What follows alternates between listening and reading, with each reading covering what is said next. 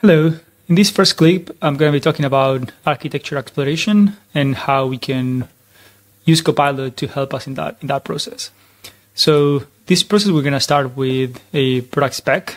This is a example product spec for an IoT project with a few sensors.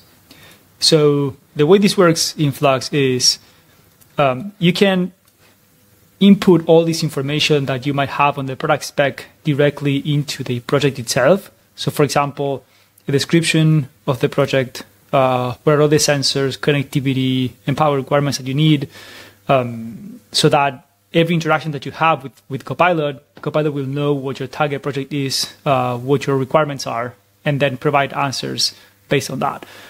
But it's not only um, product specs that we can add here.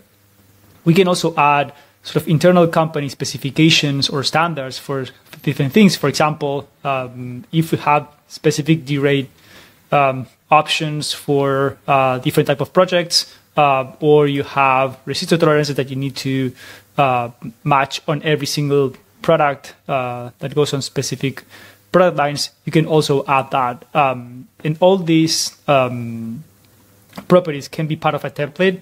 So whenever another one of your teams are starting a new project, uh, they can use some of these templates that already have all those derating intolerances and things like that. So you make sure that these standards are um, really met across the company and within different teams in many different locations. So now that we've added all this information to the product to the project itself, um, let's see how Copilot can help us with, with this.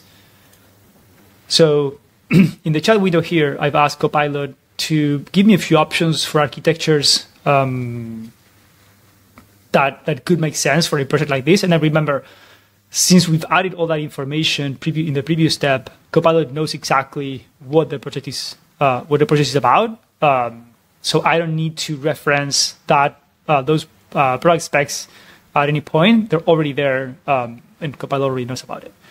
Um, so in this case, it's providing me with some different options. Um, like I could use a module, uh, like a modularized MCU or a standalone one, um, and it's adding all the different pros and cons for each one of these architectures. Uh, you can ask for, for more information on any of this, or uh, if there's any questions specifically about any sort of architecture type you want, Copilot can help you brainstorm and identify pros and cons of each one of those. Um, in terms of um, like BOM cost, how easy it is to um, to design stuff for each one of the of the different architectures. Like what happens if you want to use a, a module versus standalone?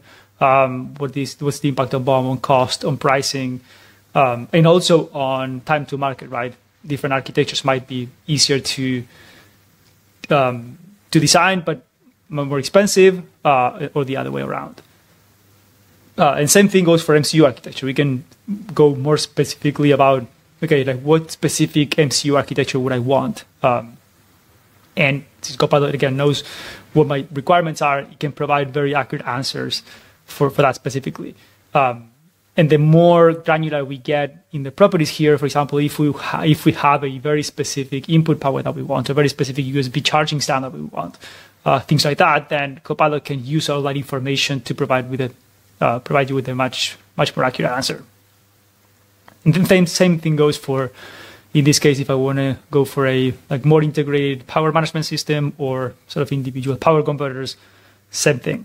Uh, it's very easy and very quick to brainstorm different solutions, and then Copilot always at the end will try to give you a conclusion. So depending on the project requirements, what it thinks would be the best option. Um, but it's of course up to you to decide to go with that. Um, or not. So I can also ask Copilot, so going even more down that, that process, I, I'm saying, okay, um, I'm going to be deciding with a Cortex, Cortex M MCU. So please provide me with a few, a few different options for that, um, for that architecture, for that specific MCU type. Um, and then it will give me a few different options um, and the main characteristics of each one of these. Uh, and basically, understanding this would have taken me much, much longer. I would need to go and research hundreds, if not thousands of parts. Um, but Copilot can give us um, ballpark options or can get us way closer to what we actually need um, in a matter of, of, a few minutes. Um, and you can do more follow-up questions and, and, dive deeper into which Cortex-M architecture you might want, if you want an M4 or an M0 or which one of those. Um, and you can dive deeper and ask follow-up questions to get to that specific point. Um, same thing goes with power converter. Uh, it gives me a few options for for power converters. Um, and at the end, um, something that's easy, um, it's very useful to share with, with other teams and to keep in mind for um, for the rest. I asked Copilot to create a block diagram of this architecture. Um, so it did so. Um, so I have a block diagram of how each component fits, including all the sensors that I asked uh, in the product requirements.